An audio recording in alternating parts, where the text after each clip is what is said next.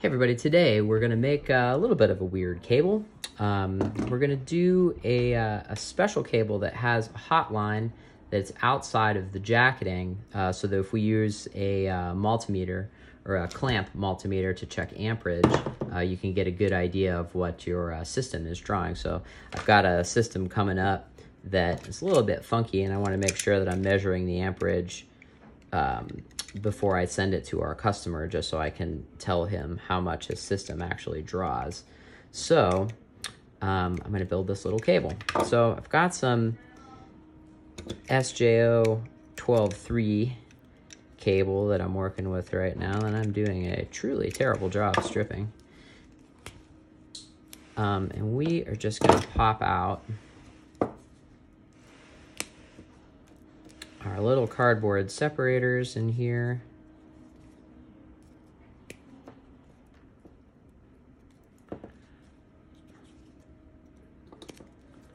And we are also going to snip off our hot, our black cable. Okay, so we've got that off. Got this little pull string in here too. Get rid of that guy. Okay. So this is 12 conductor, or this 12 conductor, this is 12 gauge cable. Strip our ends off here.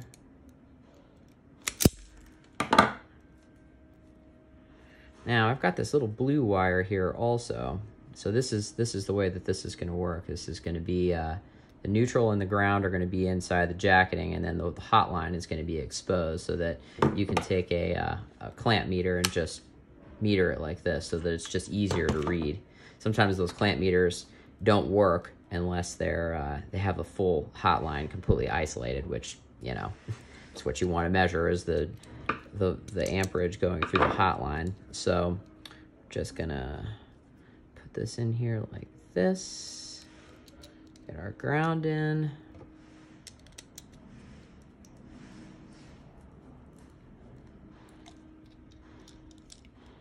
get our neutral in.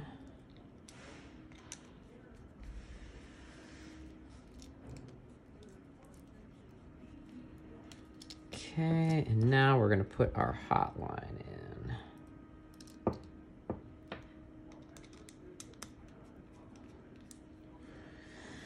Okay, so now that that's in, I'm gonna grab our back stick this guy in here like this.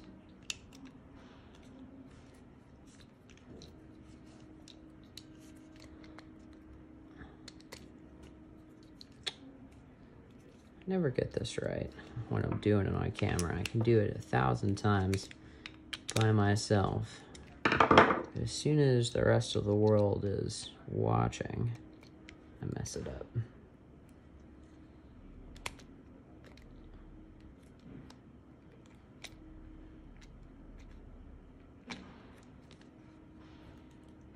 Okay. So this is in.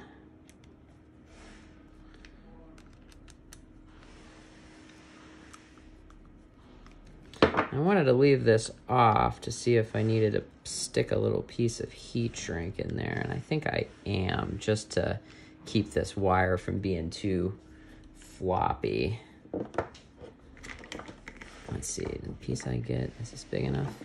It is not. Luckily, I've got another piece right here.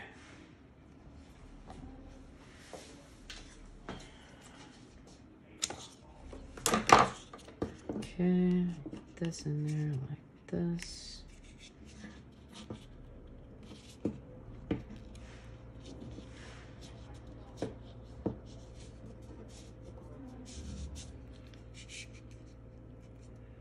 Get that guy in there like that.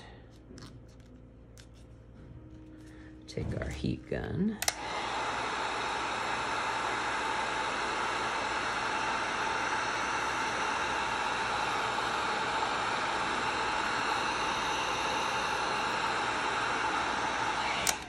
Okay. Now we can tighten this down. Strain relief on the cable.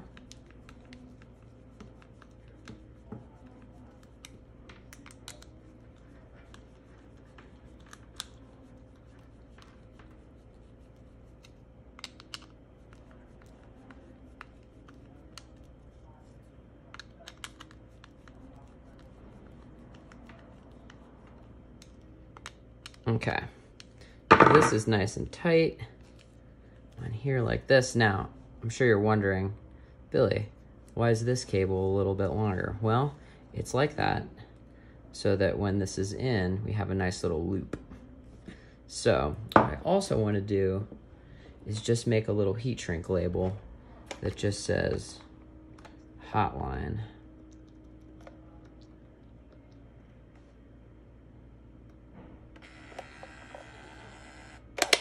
Just in case anybody happens to find this cable and wonders what the heck it is.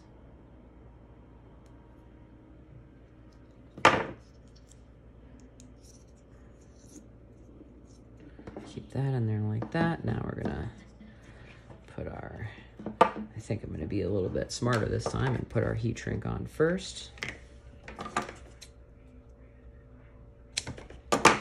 Just stick that in here like this because it will certainly be a heck of a lot easier. Well, actually, let's put this guy on first. So boy, it's always the thing when you're building cables, you have to do it all in the order that you're going to assemble it, which sometimes messes with your brain. And by sometimes, I mean generally. It generally messes with my brain. And I do this every day. So I'm putting the heat shrink on now before I strip the before I strip the wires to make it a little bit easier. It's easier to uh, put that over before there's wires flipping all out like that. Just gonna cut this jacketing.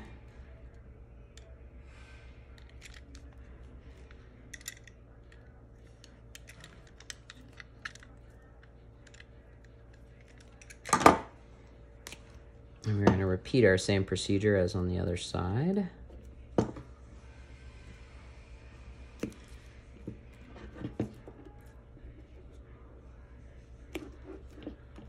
Okay, just cutting these little cardboard conductor separators. We are to pull our hot out of here, cut that. Okay, cool. So we've got our neutral, we've got our ground, and we've got our hotline. So we'll take our catapult here.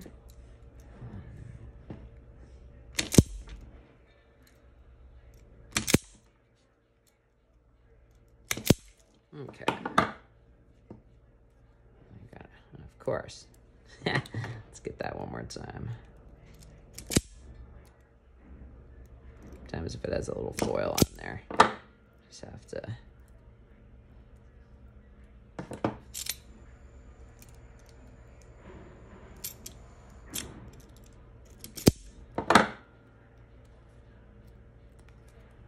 Okay. Trim our neutral back a little bit more here. Okay. So, stick our ground, our neutrals in.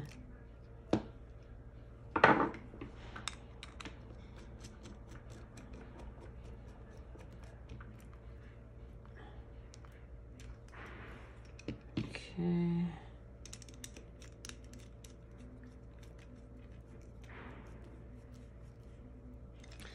I'll put our hotline in.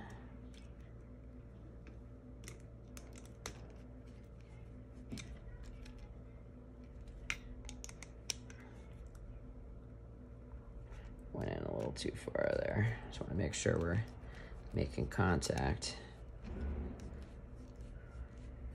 Okay. Now we could take our heat shrink. Just bring this up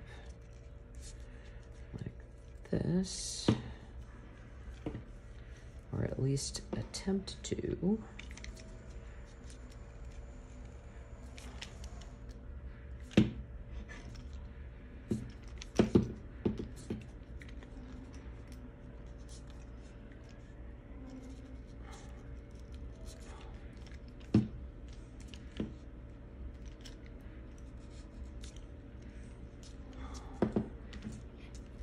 Okay.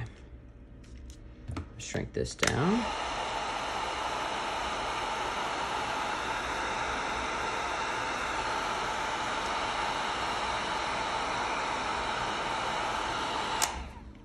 Keep those guys together.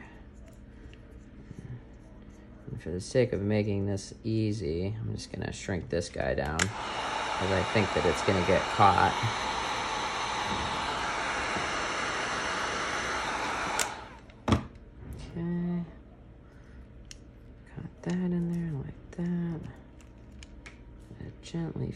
This guy on. Sorry, I was doing that off camera. No one can see what I'm doing.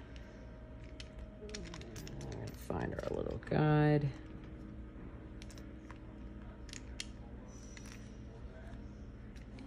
These aren't the these aren't the uh, outlets I usually use or the connectors I usually use. I was out of my Lex ones that I normally use, and I had to get these from Home Depot, so I'm just trying to use them up. Ground is on that side. Sorry for this, you guys.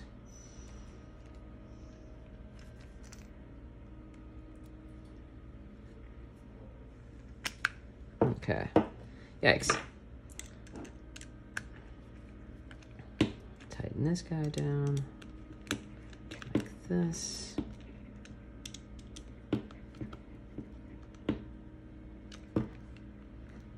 I'll tighten this guy down like this.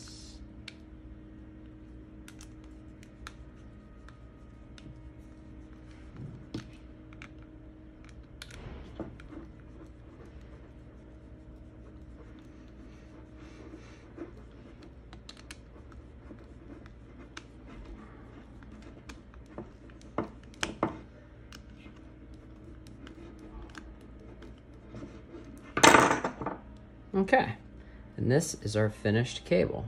So when you take your clamp meter and want to measure amperage, just goes in there, just like that. Now for the moment of truth, let's see if it works. So coming off of my power distro over here, I've got my heat gun so let's plug this in. Plug our heat gun in. Get our amp meter.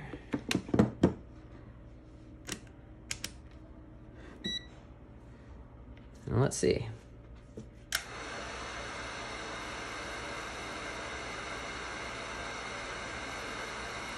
Yeah. Wow this uh, heat gun draws about 9.3 amps. now we know. Um, thanks for stopping by.